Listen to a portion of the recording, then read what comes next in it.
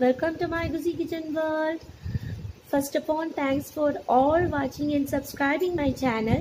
Today നിങ്ങൾക്കായിട്ട് ഗുസി kitchen വേൾഡിൽ ഞാൻ prepare ചെയ്യാൻ പോകുന്നത് ഒരു അടിപൊളി ഇറച്ചി പുട്ടും കൂടാതെ എൽ സി എച്ച് എഫ് ഡയറ്റുകാർക്കുള്ള ഒരു കോളിഫ്ലവർ പുട്ടുമാണ് അപ്പം നമ്മുടെ ഈ ഇറച്ചി പുട്ടും കോളിഫ്ലവർ പുട്ടും എങ്ങനെയാണ് പ്രിപ്പയർ ചെയ്യുന്നതെന്ന് നമുക്ക് ഗുസി കിച്ചൺ വേൾഡിൽ കണ്ടിട്ട് വരാം കൂടാതെ എന്റെ ചാനൽ സബ്സ്ക്രൈബ് ചെയ്തിട്ടില്ലാത്തവരുണ്ടെങ്കിൽ പ്ലീസ് ചാനലൊന്ന് സബ്സ്ക്രൈബ് ചെയ്യുക കൂടാതെ ഒരു ബെലൈക്കൺ ഉണ്ട്. അതും കൂടി ക്ലിക്ക് ചെയ്യുക.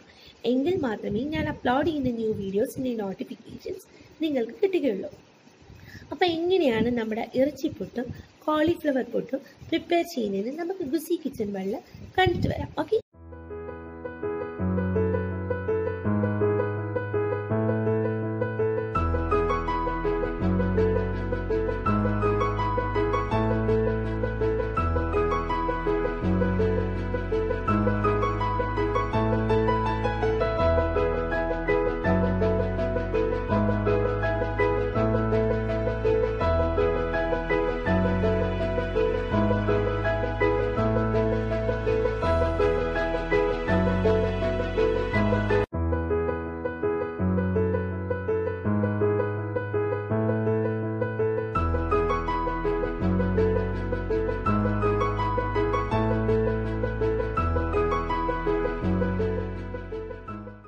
good morning everybody today ഞാൻ നിങ്ങൾക്കായിട്ട് തയ്യാറാക്കാൻ പോകുന്ന ഒരു ഇറച്ചി പുട്ടാണ്. അതിന് വേണ്ടിയിട്ട് ഞാൻ ആദ്യം ഒരു പാത്രത്തിലേക്ക് കുറച്ച് വെള്ളം വെച്ച് ഉപ്പിട്ട് തിളപ്പിക്കാൻ വെച്ചിരിക്കുകയാണ്. ആദ്യം നമുക്ക് പുട്ടാണ് തയ്യാറാക്കേണ്ടത്. നമ്മുടെ കേരള കേരളത്തിലെ ഏറ്റവും വലിയ അറിയപ്പെടുന്ന ഒരു ഡിഷാണ് പുട്ട്. നമുക്ക് സ്വന്തമെന്ന് അഭിമാനിക്കാൻ പറ്റിയ ഒരു ഐറ്റം തന്നെയാണ് നമ്മുടെ പുട്ട്. അപ്പം ഈ പുട്ട് പല വെറൈറ്റിയിലായിട്ട് ഓരോരുത്തർ ചെയ്യുന്നുണ്ട്. അതായത് അരിപ്പൊടിയുടെ പുട്ടുണ്ട് ഗോതമ്പുണ്ട് കോൺഫ്ലോർ ഉണ്ട്. അങ്ങനെ പലതരം പുട്ടിന്റെ റെസിപ്പീസുമായിട്ടാണ് നമ്മളിപ്പം കേരളം മുന്നോട്ട് പോയിക്കൊണ്ടിരിക്കുന്നത്. എക്സാമ്പിളിന് എറണാകുളത്തെ ദിലീപിന്റെ പുട്ടുകട. പല വെറൈറ്റി പുട്ടാണ് അവിടെ കൊടുക്കുന്നത്. അപ്പം നമുക്കിന്ന് വീട്ടിലുണ്ടാക്കാൻ പറ്റിയ ഒരു നാച്ചുറൽ ഇൻഗ്രീഡിയൻസ് വെച്ച് ഒരു പ്രിസർവേറ്റീവ്സും ഇല്ലാതെ ചെയ്യാൻ പറ്റുന്ന ഒരു ഇറച്ചി പുട്ടിന്റെ റെസിപ്പിയുമായിട്ടാണ് ഞാൻ നിങ്ങളുടെ മുന്നിൽ വന്നിരിക്കുന്നത്.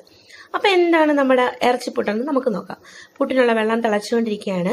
അപ്പം ഇതിലേക്ക് ഞാൻ ഒരു രണ്ട് കപ്പ് മാവാണ് ഇടാൻ ഉദ്ദേശിക്കുന്നത്. അപ്പം എന്തായാലും നമുക്ക് തിളയ്ക്കുന്ന വെള്ളത്തിലേക്ക് മാവ് ആഡ് ചെയ്ത് കൊടുക്കാം. ഒരു കപ്പ് ഇട്ടു. ഇനി ഞാൻ ഒരു അര കപ്പ് കൂടി ഇടണം.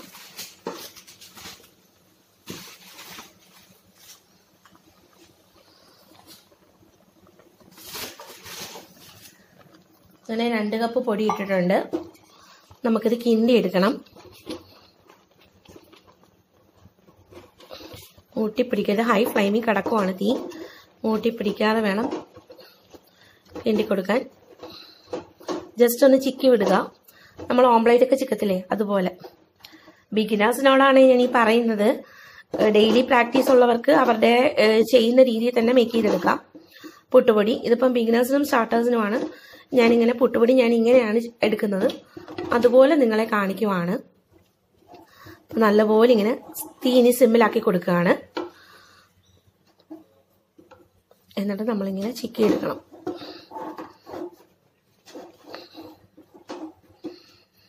നല്ല നമ്മുടെ പച്ചരി നാടൻ പച്ചരി വാങ്ങി കഴുകി ഇടിച്ച് വറുത്തതാണ്.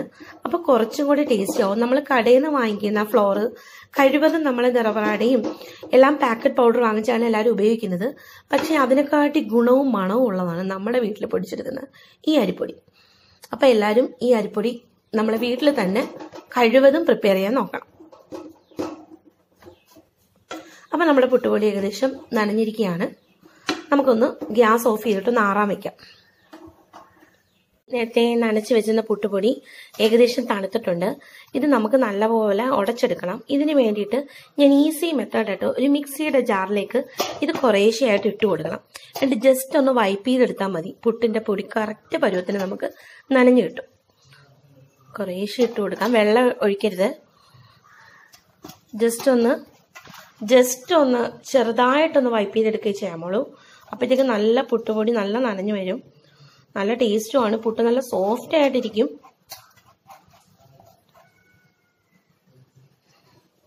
ഒന്ന് ചെറുതായിട്ടൊന്ന് വൈപ്പ് ചെയ്തെടുക്കാം. ഓക്കെ പുട്ടുപൊടി ഇങ്ങനെ പൊടിച്ചെടുത്ത് നമ്മൾ ഇടുവാണ്.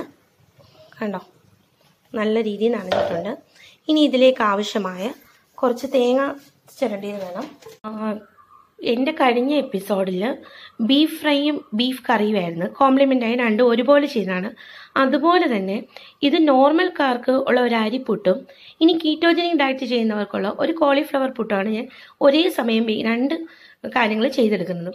രണ്ടും കീറ്റോ ഇത് കീറ്റോജനിക് ബീഫ് പുട്ട് മറ്റത് കീറ്റോജനിക് റൈസ് ഫ്ലോറിന്റെ പുട്ട് സാധാ നോർമൽക്കാർക്ക് അപ്പോൾ എങ്ങനെയാണ് നമ്മളെ കീറ്റോജനിക് കോളിഫ്ലവർ പുട്ട് മേക്ക് ചെയ്യുന്നത് നമുക്ക് നോക്കാം. അപ്പോൾ അതിനായിട്ട് ഞാൻ കുറച്ച് വെള്ളം വെച്ചിരിക്കുകയാണ് ഉപ്പിട്ട് ചെറിയ ഉപ്പിട്ടിട്ടുണ്ട്. ഇനി ഇതിനകത്തേക്ക് നമുക്ക് കോളിഫ്ലവർ ഇട്ട് കൊടുക്കണം. ജനിക് പുട്ട് മേക്ക് ചെയ്യാനുള്ള കോളിഫ്ലവർ ഞാനൊരു കോളിഫ്ലവർ എതളാക്കി അത് ഉപ്പും മഞ്ഞളും ഇട്ട വെള്ളത്തിൽ വെട്ടി തിളപ്പിച്ചിട്ട് മാറ്റി വെച്ചതാണ്. ഇത് ഫ്രിഡ്ജിൽ സൂക്ഷിക്കാം നമുക്ക്. ഇതിനകത്ത് നമുക്ക് ആവശ്യമായുള്ള കോളിഫ്ലവർ ഇട്ട് കൊടുക്കാം. ഒരു കീറ്റോജനിക് പുട്ട് ഒരാൾക്ക് കഴിക്കത്തക്ക രീതിയിൽ നമുക്ക് മേക്ക് ചെയ്തെടുക്കാം. അപ്പം നമ്മുടെ സാധാ നോർമൽ ബീഫ് പുട്ടിന്റെ കൂടെ കീറ്റോജനിക് പുട്ടും കൂടാണ് ഞാൻ ഇപ്രാവശ്യം നിങ്ങൾക്ക് കോംപ്ലിമെന്റ് ആയിട്ട് കാണിക്കുന്നത്. അപ്പം എല്ലാവരും കാണണം. ഇതുവരെ എന്റെ ചാനൽ സബ്സ്ക്രൈബ് ചെയ്തിട്ടില്ലെങ്കിൽ സബ്സ്ക്രൈബ് ചെയ്യണം. ഇനിയും ഇതുപോലെ കോംപ്ലിമെന്റ് റെസിപ്പി ആയിട്ട് ഞാൻ വരുന്നതായിരിക്കും. വളരെ ഈസി ആയിട്ടുള്ള റെസിപ്പിയാണ് അപ്പം നമ്മൾ ഇത്രയും ടോക്ക് ചെയ്തുകൊണ്ടിരിക്കുന്ന സമയത്ത് നമ്മുടെ വെള്ളം ചൂടായിരിക്കുകയാണ് നമുക്ക് ഈ കോളിഫ്ലവർ ആവശ്യമുള്ളത് നമുക്ക് ഇതിലേക്ക് ഇട്ട് കൊടുക്കാം.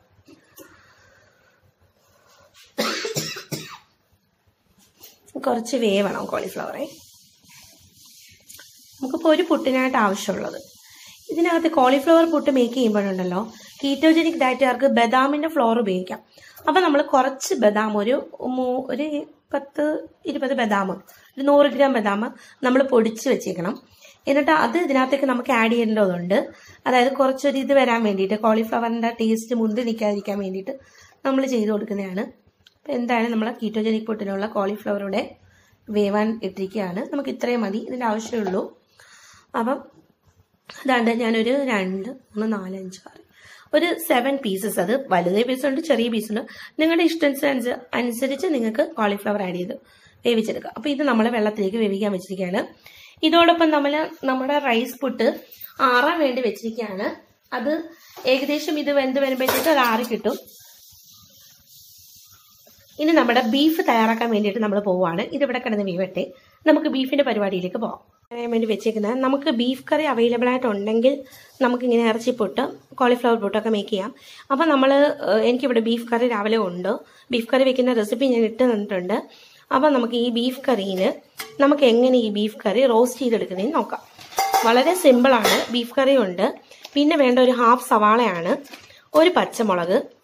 പിന്നെ കറിവേപ്പില നമ്മൾ പറഞ്ഞിട്ടുണ്ട് ബീഫ് വെക്കുമ്പോൾ ബീഫിന്റെ ക്യൂനാണ് കരിവേപ്പില ലീവ്സ് അതുകൊണ്ട് നമുക്ക് ഇത്രയും സാധനങ്ങൾ മാത്രമേ ആവശ്യമുള്ളൂ.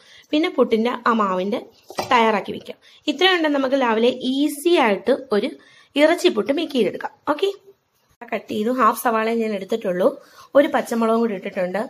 എരിവ് വേണ്ട വേണ്ടാന്നുള്ളവർക്ക് പച്ചമുളക് ആഡ് ചെയ്യേണ്ട. കുറച്ച് ഉപ്പും കൂടി ഇട്ട് കൊടുക്കാം. നമുക്ക് ബീഫൊക്കെ ഉപ്പ് ചേർത്തതാണ്. എന്നിട്ട് നമുക്കിത് സ്റ്റൗവിലേക്ക് വെച്ച് നല്ലപോലെ ഒന്ന് ഓയിൽ ഒഴിച്ച് വാട്ടിയെടുക്കണം. ചെയ്യുന്നത്. കാരണം കീറ്റോജനിക്കിന്റെ പുട്ടുകാർക്കും ഓയിൽ കോക്കനട്ട് ഓയിലൊക്കെ യൂസ് ചെയ്യാൻ പാടുള്ളൂ. അപ്പോൾ അവർക്ക് വേണ്ടിയും കൂടെ കാണിക്കുന്ന ഒരു റെസിപ്പിയാണ് ബീഫ് ഒരുമിച്ചാണ് ഞാൻ പ്രിപ്പയർ ചെയ്യുന്നത്. രണ്ട് കൂട്ടർക്കും വേണ്ടിയിട്ടുള്ള ബീഫ് ഫ്രൈ ആണ് ഞാൻ പ്രിപ്പയർ ചെയ്യുന്നത്. നോ സോറി ഫ്രൈ അല്ല റോസ്റ്റ് അപ്പോൾ നമ്മൾ കുറച്ച് എണ്ണ ഒഴിച്ച് കൊടുത്തു. നല്ല പ്യുവർ കോക്കനട്ട് ഓയിലാണ് പ്രിസർവേറ്റീവ്സ് ഒന്നും ചേർക്കാത്ത.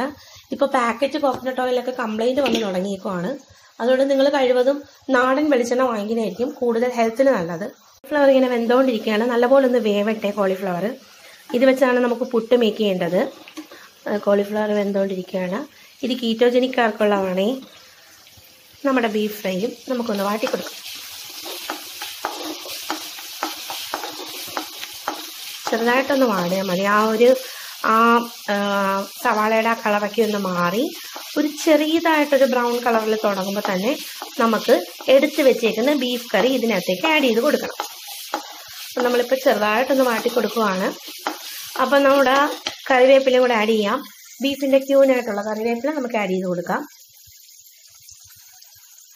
ഇഷ്ടംപോലെ നമുക്ക് ആഡ് ചെയ്ത് കൊടുക്കാം. ഫ്ലേവർ ഇഷ്ടം അനുസരിച്ച് നമുക്ക് കറിവേപ്പില ഇടാം. കാരണം ഇത് ബീഫുമായിട്ട് ഭയങ്കര കോമ്പിനേഷനാണ് നല്ല ഒരു ഫ്ലേവറാണ് കറിവേപ്പില തന്നെ ആഡ് ചെയ്യുമ്പോൾ ബീഫ് കറിക്ക് നമുക്കൊന്ന് ആഡ് ചെയ്ത് കൊടുക്കാം. വളരെ സിമ്പിളായിട്ട് നമുക്ക് ഈ കുട്ടി മേക്ക് ചെയ്തെടുക്കാം.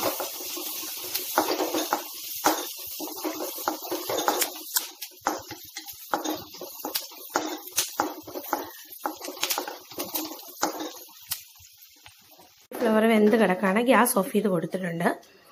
അപ്പോൾ ഇനി നമുക്ക് ബീഫിന്റെ പ്രിപ്പറേഷനിലേക്ക് പോകാം അതായത് കണ്ടോ ഒരുവിധമൊക്കെ നല്ലപോലെ വാടി ആ കറിവേപ്പിലയൊക്കെ നല്ല ഫ്രൈഡ് ആയിട്ട് കിടപ്പുണ്ട്. ഇതിലേക്ക് നമ്മുടെ ബീഫ് ഇട്ട് കൊടുക്കാം. കറി വെച്ച ബീഫാണേ.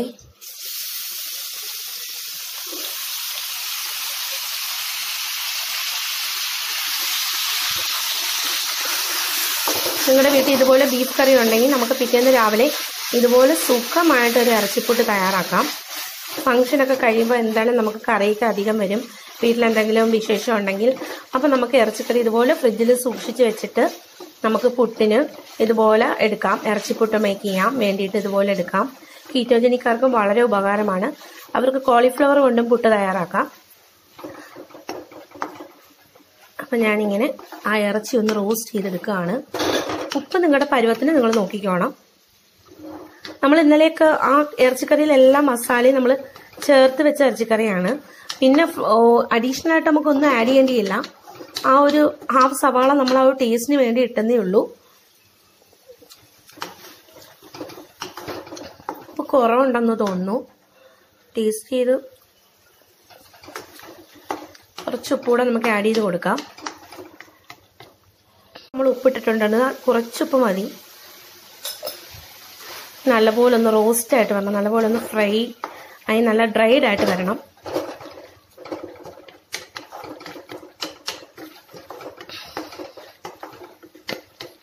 അപ്പോൾ അതൊന്ന് ഡ്രൈ ആവട്ടെ. നമുക്കൊരു അടപ്പ് വെച്ച് അതിനെ അടച്ചു കൊടുക്കാം. ആണ്. ഒരുപാട് തീ ഇടരുത്. ഒരു മീഡിയം ഫ്ലെയിം അല്ലെങ്കിൽ സിമ്മിൽ ഇടാവുള്ളൂ. ഇല്ലെങ്കിൽ കരിഞ്ഞു പിടിക്കും. അപ്പം ഇനി നമ്മുടെ കോളിഫ്ലവർ എങ്ങനെയാണ് നമുക്ക് ചെയ്യുന്നതെന്ന് നോക്കാം. നമുക്ക് ഈ കോളിഫ്ലവർ ഗ്രേറ്റ് ചെയ്തെടുക്കണം ഓക്കെ? ഇരിക്കുവാണ് അതിന്റെ കൂടെ ഒരു ഹാഫ് കോക്കനട്ട് എടുത്തിട്ടുണ്ട്. അതായത് ഹാഫ് കോക്കനട്ട് ചിരികി എടുത്തിട്ടുണ്ട് കണ്ടോ? ഇതുപോലത്തെ ഹാഫ് കോക്കനട്ട് എടുത്തിട്ടുണ്ട്. പിന്നെ പുട്ട് പുഴുകാൻ വേണ്ടി കുക്കറിൽ കുറച്ച് വെള്ളം വെച്ചിട്ടുണ്ട്. എന്നിട്ട് അടപ്പ് ഇതുപോലെ ഫിസിലില്ലാതെ എടുത്തു വെക്കുകയാണ്.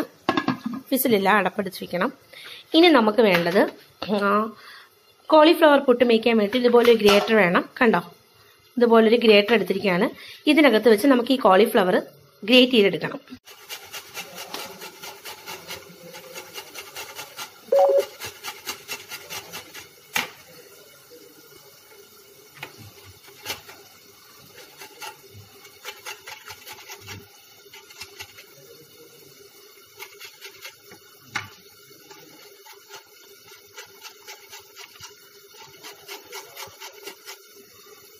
മൂന്ന് വലിയ പീസ് കോളിഫ്ലവർ ഗ്രേറ്റ് ചെയ്ത് കൊടുത്തതാണ് ഇത്രയും. ഇത് മതിയാവും നമുക്ക്. ബാക്കി ഇത് നമുക്ക് ഫ്രിഡ്ജിൽ സൂക്ഷിക്കാം. അതിന്റെ തണ്ട് ഇതുപോലെ ചീകിയിടരുത്. അത് നല്ല കയർപ്പുണ്ടാക്കും അതുകൊണ്ട് ഞാനൊരു ചെറിയ മൂന്ന് പീസ് ഗ്രേറ്റ് ചെയ്ത് വെച്ചതാണിത്. ഇനി നമുക്ക് നമ്മുടെ ബീഫ് എങ്ങനെയാണെന്ന് നോക്കാം. നമ്മുടെ ബീഫ് കണ്ടോ? നല്ല ഡ്രൈഡായി വന്നിരിക്കുകയാണ്. ആ സൈഡിലൊക്കെ ആയിട്ടുണ്ട് നമുക്കതൊക്കെ ഒന്ന് നീറ്റാക്കി കൊടുക്കാം. കണ്ടോ? നല്ല ബീഫ് നല്ല കുറുകി. നല്ല തിക്ക് ഇതായിട്ട് വന്നിട്ടുണ്ട്. ഞാൻ ഒന്നും ആഡ് ചെയ്തിട്ടില്ല.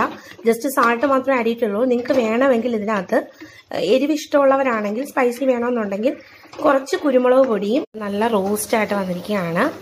നിങ്ങൾക്ക് വേണമെങ്കിൽ ചില്ലി പൗഡറും പെപ്പർ പൗഡറും കൂടെ ആഡ് ചെയ്ത് കൊടുക്കാം. പക്ഷേ എനിക്ക് ഇതിനകത്ത് എരി ആവശ്യത്തിനുള്ളത് കൊണ്ട് ഈ ബീഫ് കറിയിൽ ഞാൻ ഇനി ഒന്നും ആഡ് ചെയ്യുന്നില്ല. സ്പൈസി ആഗ്രഹമുള്ളവർക്ക് നമുക്ക് ഇച്ചിരി പെപ്പർ പൗഡറും ചില്ലി പൗഡറും കൂടെ ആഡ് ചെയ്ത് കൊടുക്കാം. അപ്പോൾ എന്താ നമ്മുടെ ബീഫ് ഏകദേശം റെഡിയായി കിടക്കുവാണ്. നല്ല റോസ്റ്റ് പരുവത്തിലായിട്ടുണ്ട്. നമുക്കിനി ജസ്റ്റ് ഒരു ലിഡ് വെച്ച് അടച്ചിട്ട് തീ ഒന്ന് കൂട്ടി കൊടുക്കണം. ഹൈ ഫ്ലെയിം ഒന്ന് കൊടുത്തിട്ട് നമുക്കങ്ങ് ഓഫ് ചെയ്യാം. അപ്പോൾ അത് നല്ല എടുക്കുമ്പോഴത്തേക്ക് നല്ല റോസ്റ്റ് ആയിട്ട് കിടക്കും. നമ്മൾ ഹൈ ഫ്ലെയിം കൊടുത്തിരിക്കുകയാണ്. എല്ലാം നല്ലപോലെ ഒന്ന് തിളച്ച് മറിയുമ്പോഴത്തേക്ക് നമുക്ക് തീ ഓഫ് ചെയ്ത് കൊടുക്കാം. ചെയ്ത് പുട്ട് പുഴുങ്ങാനുള്ള തയ്യാറെടുപ്പിലാണ്. കുക്കറിൽ കുറച്ച് വെള്ളം വെച്ചിട്ടുണ്ട്. നേരത്തെ പറഞ്ഞതുപോലെ കുക്കറിൽ ഫിസിൽ ഇട്ടിട്ടില്ല. ഇതിനകത്തേക്ക് ഇനി ഞാൻ പുട്ട് പുഴുങ്ങ എടുക്കുന്ന ഒരു ചിരട്ട പുട്ടിന്റെ മേക്കിംഗ് സ്റ്റീലിന്റെ ഒരു ഇതാണ്. ഇത് ഈ ഹോളിലേക്ക് ആവി വരുമ്പോൾ ഹോളിലേക്ക് വെച്ച് പുട്ടുപൊടി നിറച്ച് ഹോളിലേക്ക് വെച്ച് കൊടുക്കണം. ഒരു അഞ്ച് മിനിറ്റ് മൂന്ന് മിനിറ്റ് കഴിയുമ്പോഴത്തേക്ക് ആവി വരുമ്പോൾ നമുക്ക് പുട്ടെടുക്കാവുന്നതാണ്. അപ്പം നമുക്ക് പുട്ടിന്റെ പരിപാടിയിലേക്ക് പോകാം. നമ്മൾ നേരത്തെ ഇവിടെ എല്ലാം പ്രിപ്പയർ ചെയ്ത് വെച്ചിട്ടുണ്ടായിരുന്നു. കുറച്ച് കോക്കനട്ട് ഇടുക. കണ്ടോ? കുറച്ച് മാത്രം മതി. ഇനി നമുക്ക് പ്രിപ്പയർ ചെയ്ത് വെച്ചിരിക്കുന്ന ബീഫിന്റെ കുറച്ച് ആഡ് ചെയ്ത് കൊടുക്കണം. നമ്മൾ ഇറച്ചി പുട്ടല്ലേ പുഴുങ്ങാൻ പോകുന്നത്? കുറച്ച് ബീഫ് ഇട്ട് കൊടുക്കാം. കുറച്ച് മതി. ഈ കറിയുടെ വേറൊരു ഗുണമെന്ന് പറഞ്ഞാൽ കുറഞ്ഞ കറി ഉണ്ടെങ്കിൽ നമുക്ക് എത്ര പേരെ വേണമെങ്കിലും ഇത് വെച്ച് സെർവ് ചെയ്യാൻ പറ്റും. ഒരു ഗസ്റ്റ് വന്നാലും നമുക്ക് സെർവ് ചെയ്യാൻ പറ്റും. കുറച്ച് കറി കുറവ് മതി. മസാല പുട്ടല്ലേ? കഴിക്കാനും ടേസ്റ്റിയാണ് കുറച്ച് ബീഫ് ഇട്ട് കൊടുത്തിട്ടുണ്ട്. കണ്ടോ? ഇനി നമുക്ക് കുറച്ച് പുട്ടുപൊടിയിലേക്ക് ആഡ് ചെയ്ത് കൊടുക്കണം. നിങ്ങൾക്ക് മറ്റേ കുറ്റിയിലും പുഴുങ്ങിയെടുക്കാം നീളത്തിലുള്ള ഒരു പുട്ടുകുറ്റി ഉണ്ടല്ലോ കുടത്തിൽ വെച്ച് പുഴുങ്ങുന്നത് അതിലാകുമ്പോൾ ഒരുപാട് ക്വാണ്ടിറ്റി ഉണ്ടാവും. ഇത് കുറച്ച് നമുക്ക് അത്യാവശ്യം ഒന്ന് മേക്ക് ചെയ്തെടുക്കണമെങ്കിലും. ഇതൊക്കെ ഓഫീസിൽ പോകുന്നവർക്കും ലഞ്ചിന് ഒക്കെ നല്ല ഒരു ഡിഷാണ് ഇറച്ചിപ്പൊട്ട് നല്ലപോലെ നമുക്ക് അമ്മയ്ക്ക് വെച്ച് കൊടുക്കാം. കണ്ടോ? മാക്സിമം അമ്മയ്ക്ക് വെച്ച് കൊടുക്കുക. കുറച്ച് തേങ്ങ ജസ്റ്റ് ഒരു തേങ്ങയുടെ കുറച്ച് അതിന്റെ മുകളിൽ ഇട്ട് കൊടുക്കുക അതും ഒന്ന് നല്ലപോലെ പ്രസ് ചെയ്ത് കൊടുക്കുക ഇനി കുറച്ച് ബീഫിന്റെ കുറച്ച് ഇതും കൂടെ മുകളിൽ വയ്ക്കുക കണ്ടോ? കുറച്ചൊരിതായിട്ട് ബീഫും കൂടെ വെച്ച് കൊടുക്കുക. നമ്മുടെ പുട്ട് ജസ്റ്റ് ഇനി നമുക്ക് പുഴുങ്ങാൻ വേണ്ടിയിട്ട് എടുക്കണം. അപ്പം നമ്മുടെ പുട്ടിന് കണ്ട കുക്കറിന്റെ ഫിസിലിൽ നിന്ന് സ്റ്റീം വന്നുകൊണ്ടിരിക്കുകയാണ് ഇനി നമുക്ക് ഈ പുട്ട് അടച്ച് ഈ ഹോളിലേക്ക് വെച്ച് കൊടുക്കാം. ഹോൾ നോക്കിയിട്ട് വെക്കണം.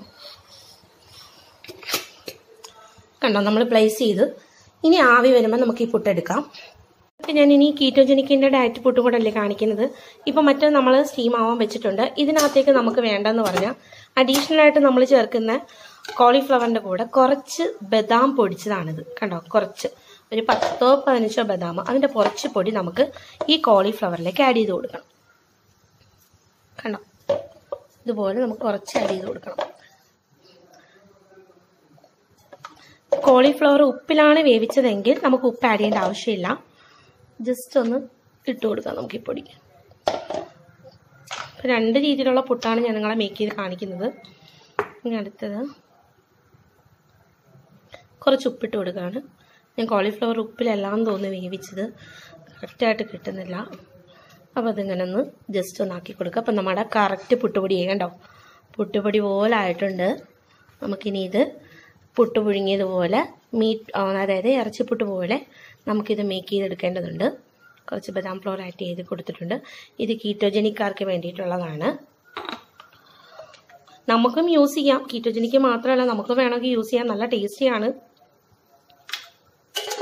പിന്നെ ഗുണവുമാണ്. വെജിറ്റബിളിന് കോളിഫ്ലവർ ആയതുകൊണ്ട് കുട്ടികൾക്കും ഒക്കെ വളരെ യൂസ്ഫുൾ ആണ്.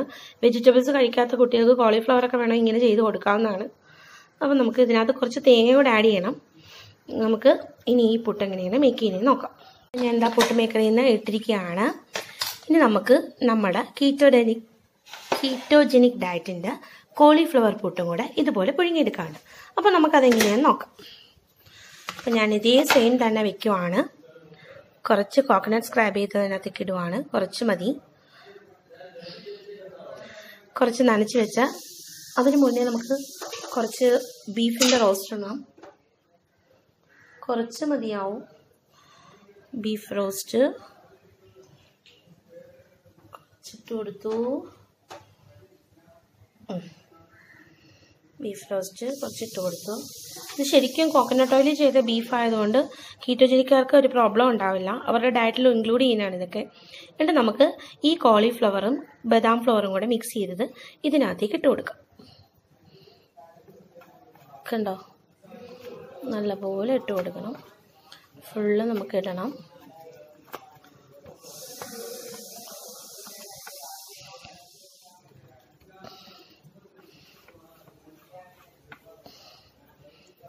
ഇട്ട് കൊടുത്തു. നല്ലതുപോലെ പ്രസ് ചെയ്ത് നമ്മൾ വെച്ച് കൊടുത്തു. കുറച്ച് കോക്കനട്ട് സ്ക്രാബ് ചെയ്ത് അതിന്റെ മുകളിൽ ജസ്റ്റ് ഒന്ന് ഇട്ട് കൊടുത്തു. കോക്കനട്ട് വളരെ കുറച്ച് മതി ഈ ബീഫ് പൊട്ടിനും ഇറച്ചിപ്പൊട്ടിനും അതായത് ഈ കോളിഫ്ലവറിന്റെ പൊട്ടിനും. നമുക്ക് ഇതിനകത്തോട്ട് കുറച്ച് ബീഫ് മുകളിൽ വെച്ച് കൊടുക്കാം.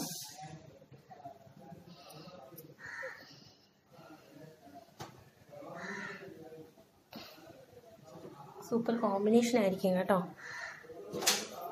നമ്മൾ ഒരേ രീതിയിൽ റൈസ് ഫ്ലോറിന്റെ പുട്ട് മേക്ക് ചെയ്തു. കീറ്റോജനിക്കിന്റെ കോളിഫ്ലവർ പുട്ട് മേക്ക് ചെയ്തേക്കുവാണ്. എല്ലാവരും ഇത് പ്രിപ്പയർ ചെയ്ത് നോക്കണം. നിങ്ങളുടെ സപ്പോർട്ടും സപ്പോർട്ടും വ്യൂസും ഉണ്ടെങ്കിലേ എനിക്ക് ഇനിയും പുതിയ റെസിപ്പിയുമായി നിങ്ങളുടെ മുന്നിൽ വരാൻ പറ്റൂ. അപ്പോൾ നമ്മുടെ കോളിഫ്ലവർ പൊട്ട് എന്തായാലും ഒന്ന് ആവി വേവട്ടെ.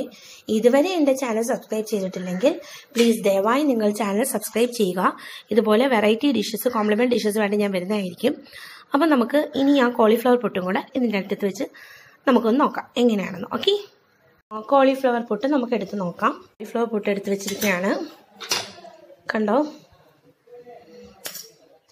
അതേപോലെ നമ്മൾ കണ്ട ബീഫ് പുട്ടാന്നേ പറയൂ. അതേ രീതിയിൽ ഇരിക്കുവാണ് ഇതാണ് കോളിഫ്ലവർ പൊട്ട് ഇത് ബീഫ് പൊട്ട് ഇത് ബീഫിന്റെ പൊട്ട് അരിപ്പൊടിയുടെ പൊട്ട്. അപ്പം ഈ രണ്ട് റെസിപ്പീസും നിങ്ങൾക്ക് കോംപ്ലിമെന്റായിട്ട് ഞാൻ ഉണ്ടാക്കി തന്നതാണ്. അതായത് ബീഫ് പുട്ടിന്റെ കൂടെ കോംപ്ലിമെന്റായിട്ട് ഉണ്ടാക്കിയ കീറ്റോജെനിക് കോളിഫ്ലവർ പുട്ടാണ്. ഇത് രണ്ടും നിങ്ങൾ എല്ലാവരും പ്രിപ്പയർ ചെയ്ത് നോക്കണം. ഇനിയും നിങ്ങൾ എന്റെ ചാനൽ സബ്സ്ക്രൈബ് ചെയ്തിട്ടില്ലെങ്കിൽ ചെയ്യുക. പ്ലീസ് എങ്കിൽ മാത്രമേ ഞാൻ അപ്ലോഡ് ചെയ്യുന്ന ന്യൂ വീഡിയോസ് നിങ്ങൾക്ക് കാണാൻ പറ്റൂ. അപ്പോൾ വളരെ ഈസി ആയിട്ട് ഉണ്ടാക്കാൻ പറ്റുന്ന റെസിപ്പീസുമായിട്ടാണ് ഞാൻ നിങ്ങളുടെ മുന്നിൽ വരുന്നത്. അപ്പോൾ നെക്സ്റ്റ് റെസിപ്പിയുമായി നെക്സ്റ്റ് എപ്പിസോഡ് വരുമ്പോഴേ എല്ലാവർക്കും bye bye thank for watching